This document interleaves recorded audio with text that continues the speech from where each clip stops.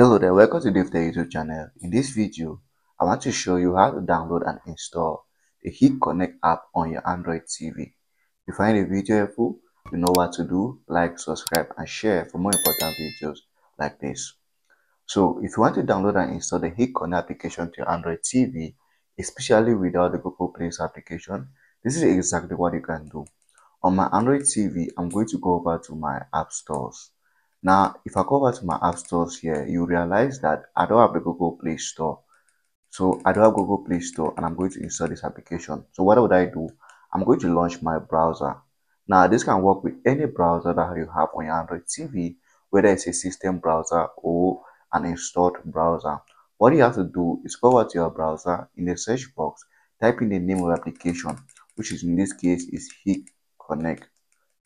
Then we're going to go ahead and type in Hik Connect app so for instance, here the name of application.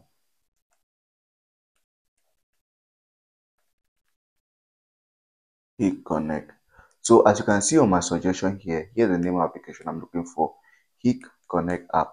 So I'm just going to click on this option and as you can see, I already have the application suggested here.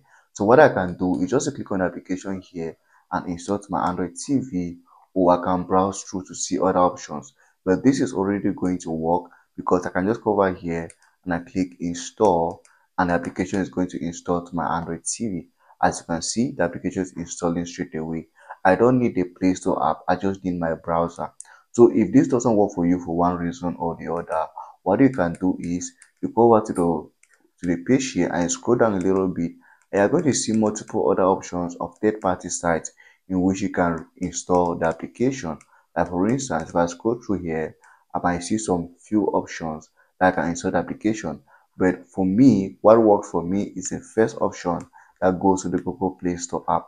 And I just have to go over here and I click on install and application is going to start installing straight away to my Android TV.